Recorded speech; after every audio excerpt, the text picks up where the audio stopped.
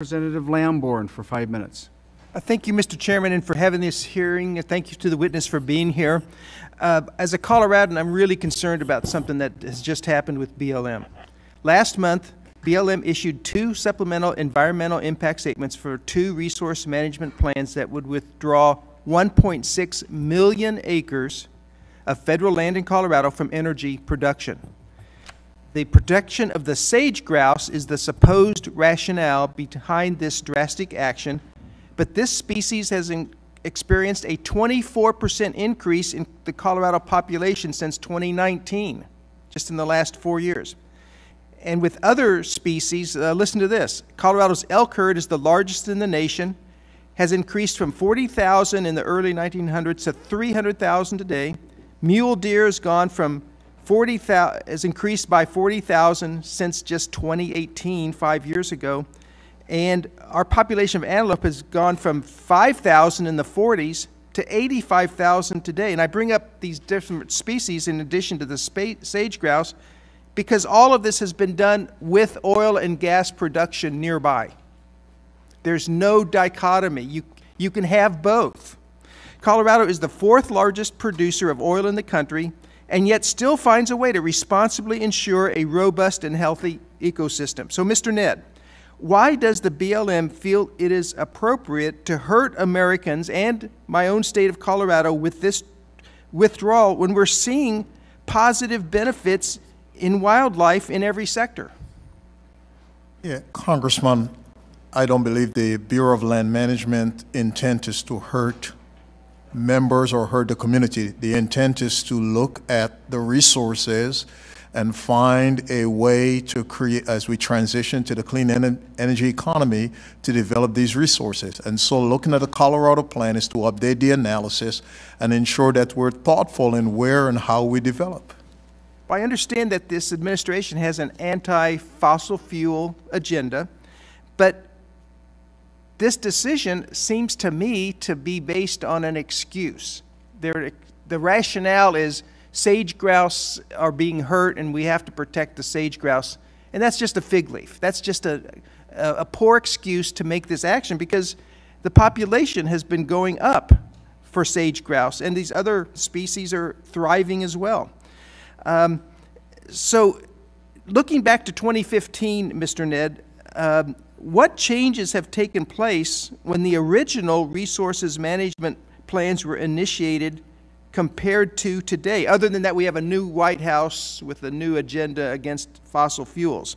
Uh, what has changed on the ground? Clearly, it's my understanding that um, we have been able to collect data from many sources that shows the analysis that was done then is not as current as it can be to address the impacts today. And those impacts, I cannot speak specifically to what's going on in that district office, but I'm quite sure um, our state director or field would be able to provide some more specifics.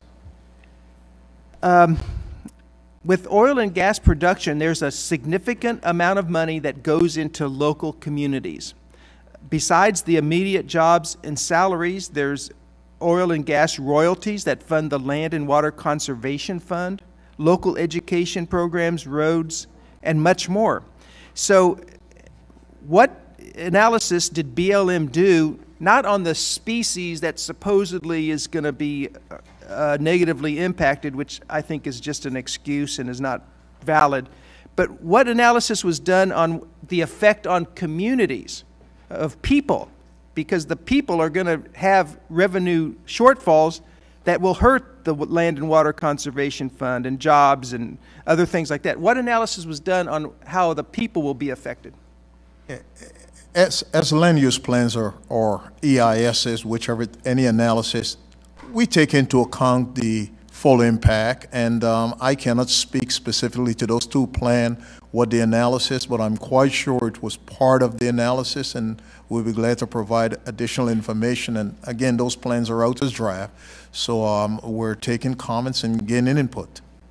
Well, could you please supply that to the committee? I'd make that request uh, because I see a negative here with a dubious positive over here, and it just seems like there's an, an agenda that's driving this that's not being admitted to. that's not being honestly admitted to. Uh, Mr. Ned, you say in your testimony that the BLM plans to, quote, "avoid leasing in areas with sensitive cultural, wildlife, and recreation resources," end quote. Uh, This is so open-ended, you could drive any agenda through it. Does this mean that you will not be leasing in areas that have the presence of any endangered species, even if that species happens to be doing better than it was earlier, like, like the sage grouse? Yeah, we have a requirement by law to put certain terms and condition in place for endangered species. And so what the agency is looking at a swath of land or a parcel is how best to develop, looking for the areas that is most likely, probably can be developed, lower conflict, and ensuring again that we're protecting what the law tells us to. And under the Endangered Species Act, we have that requirement.